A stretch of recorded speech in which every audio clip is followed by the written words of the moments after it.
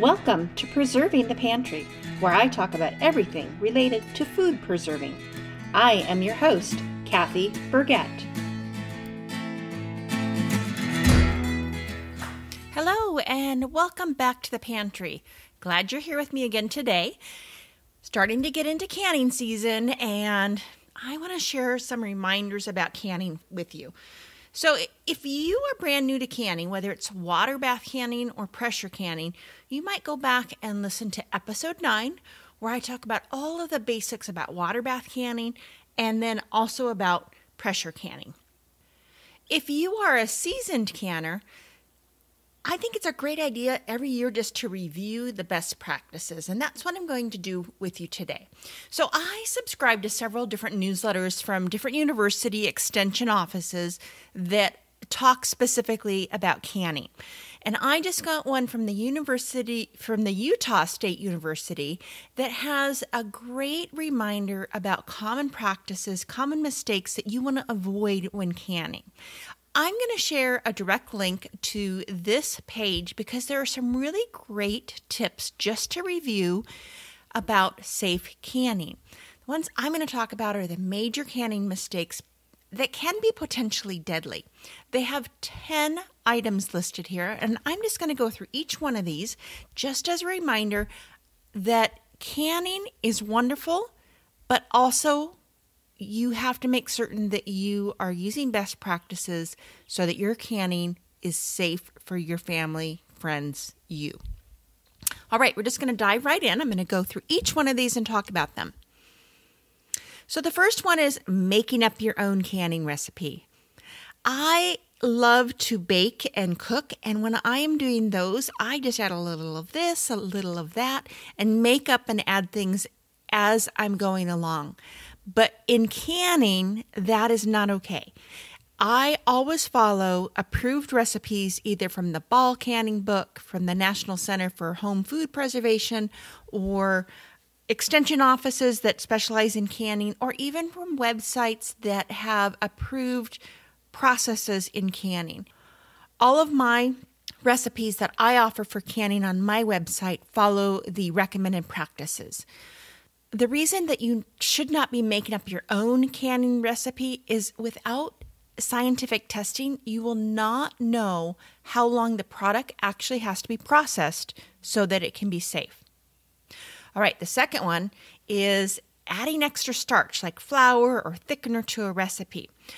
Um, if you are making a stew or a apple pie filling or another pie filling, you want to make certain that you're using an approved thickener. So, flour or some other starches will slow the rate of heat penetration and it can result in undercooking. Make certain that you're following an approved recipe that will have the approved starch that you may use or the amount of starch that you can use. Sometimes, if you think something's not thick enough, can it the way that it says in the recipe. And then, when you're ready to use it, if you need something to be a little thicker, that would be the time when you're reheating it, you've taken it out of the jar, and then maybe add a little bit of extra flour or cornstarch to thicken it up. All right, the next one is adding extra ingredients like onions, chilies, bell peppers, or other vegetables to salsa. Salsa is one of those great things to make during the summertime with so many different items in your from your garden. But not all of those items can be water bath canned. And so if you have a salsa recipe and you wanted to add some extra bell peppers or chilies to it, you have to be very careful because it might not be safe for water bath canning anymore. So don't add those extra things unless it specifically says in your recipe. Goes back to our first thing. Don't make up your own recipe. Oh dear, this next one just surprises the heck out of me that people use this as a process, but I've seen it out there. So this could be a potentially dead, deadly mistake is if you're using your oven to process jars instead of a water bath canning method. The oven is not a good conductor of heat as water or steam is.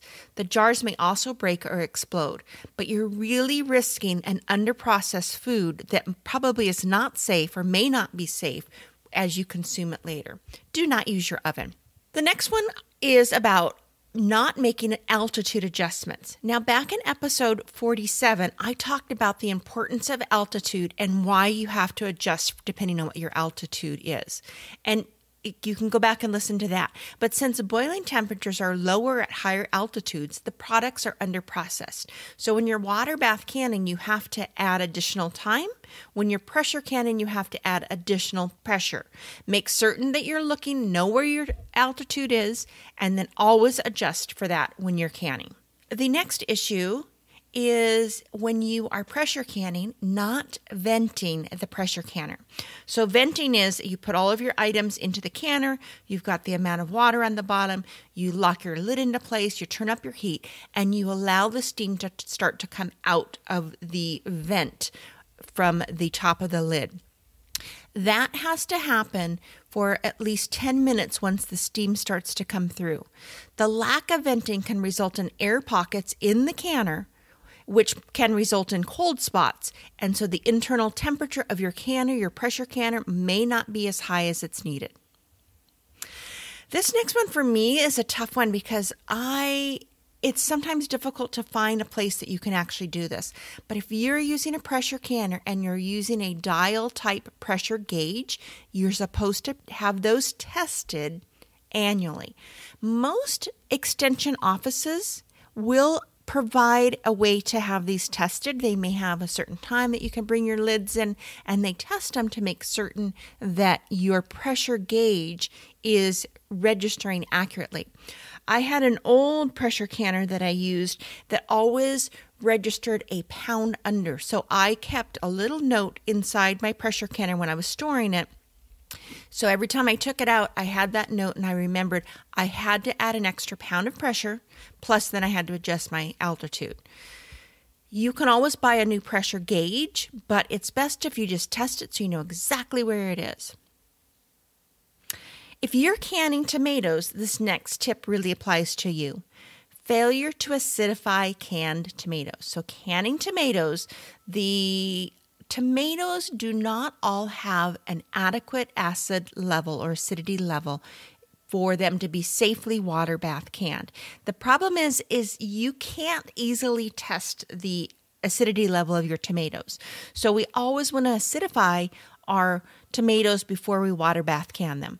I always add bottled lemon juice to my canned tomatoes before I water bath can them. If you don't do this, it can result in botulism poisoning. And remember that botulism is usually deadly. Don't play with that.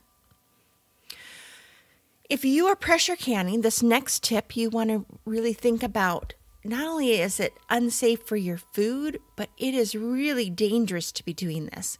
So if you have pressure canned something, and you have done the appropriate amount of pressure, the appropriate amount of time, and you turn off your stove, you have to let that pressure canner cool naturally. Do not try to cool it down with cold water by placing this into the sink. I can't even imagine moving that huge pressure canner into the sink, but and then cooling it down with cold water you could ruin your pressure canner, but more importantly, that cooling process is part of the processing time that ensures that your food is safe. So it takes a long time for that pressure to come all the way back down to zero. You don't want to force cool it. You don't want to remove that vent cover until your pressure canner has already gone all the way back to zero pounds of pressure. The final tip is letting your food prepared for hot packing in the jars cool before you place them in the canner. If the recipe calls for your items to be fully heated and then place it into the jars hot, as soon as you have those jars filled, you want to put them right into your canner, whether it is a water bath canner or the pressure canner. Otherwise, this again could result in underprocessed food. So, those are the 10 tips that the Utah State University has put out about the major canning mistakes. They also have several minor canning mistakes, which could mean that your food quality deteriorates, but the results probably are not going to be deadly. And then they also have some cautions for specific foods, some general rules, and exceptions to those general rules. Things like changing the salt level is okay in everything except for your pickles if you're making any sort of pickles. So, again, I will include this link because it's a great reminder to read through before you start your canning for the season. As always, let me know if you have any questions, and I will see you next week in the pantry. Bye.